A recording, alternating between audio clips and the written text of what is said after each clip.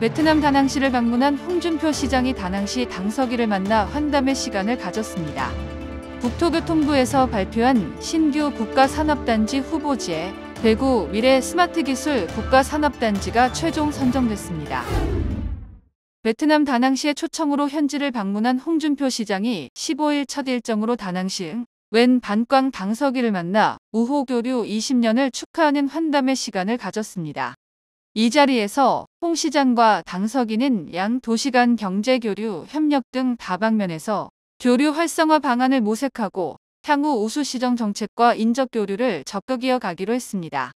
한편 대구시와 다낭시는 2003년 우호 교류를 시작한 이해 대표단 상호 방문과 대구 의료 관광 홍보센터 개소, 대구 북 카페 1, 2호점 개소 등의 성과를 거둔 바 있습니다. 15일 국토교통부에서 발표한 신규 국가산업단지 후보지에 대구 미래 스마트기술 국가산업단지가 최종 선정되면서 제1국가산업단지 조성 결정 이후 14년 만에 신규 국가산단을 유치했습니다. 대상지는 달성군 화원읍 구라리에서 옥포, 간경리 일원으로 화원 옥포 나들목과 국도 5호선, 대구 외곽순환고속도로와 도시철도 1호선이 인접해 있는 등 교통과 물류 여건이 우수한 지역입니다. 대구시는 도심 접근성이 뛰어나고 문화자원과 인접한 입지 특성을 활용해 저탄소 사회에 부합할 수 있도록 청년 친화적이고 힐링이 함께하는 대도시형 그린 산업 공간으로 특성화할 계획입니다. 신규 국가 산단의 개발 규모는 약 330만 제곱미터며 이중 산업 용지는 141만 제곱미터 정도 공급될 예정입니다. 이어서 대구 게시판입니다.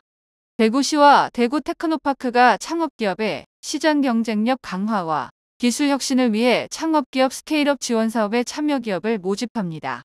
모집 분야는 민간투자연계형 R&D 분야와 창업 초기 기업 R&D 분야로 민간투자연계형은 창업 후 7년 이내 국내외 민간 투자자로부터 1억 원 이상 투자를 받은 매출 100억 원 미만 기업입니다.